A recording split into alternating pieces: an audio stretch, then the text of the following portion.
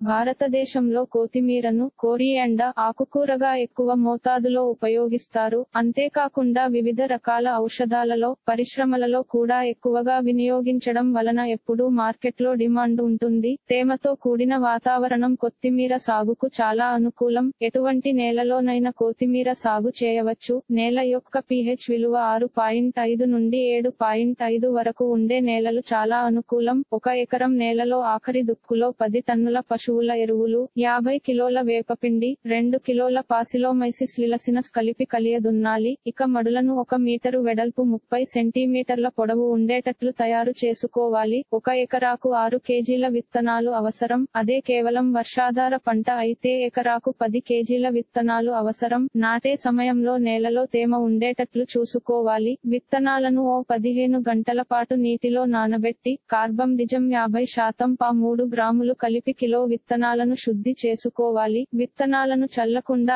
ఐదు సెంటీమీటర్ల లోతులో కర్రతో సన్నని రంధ్రాలు చేసి విత్తనం వేశాక పైపైన కొంచెం మట్టి వేసి ఆ తర్వాత తేలికపాటి నీటి తడి అందించాలి. నీటిని పారించకుండా డ్రిప్ విధానం డ్రిప్ ద్వారా నీటిని అందించడం వలన మొక్క కావలసిన నీరు సమృద్ధిగా అందడంతో పాటు చాలా వరకు కలుపు సమస్యలు ఉండవు. శీతాకాలంలో పది రోజులకు ఒకసారి వేసవికాలంలో ఐదు రోజులకు ఒకసారి పంటకు నీరు అందించాలి. పైన చెప్పిన పద్ధతుల ద్వారా కొత్తిమీర సాగు చేస్తే కలుపుల ఖర్చు రసాయన పిచికారీల ఖర్చు ఆదా అవడంతో పాటు నాణ్యమైన అధిక దిగుబడి హై yield పొంది మంచి ఆదాయం పొందవచ్చు. ఇలాంటి మరిన్ని తెలుగు రైతు వార్త విశేషాలు కోసం ఛానల్కి సబ్స్క్రైబ్ చేసి గంట నొక్కడం మర్చిపోకండి.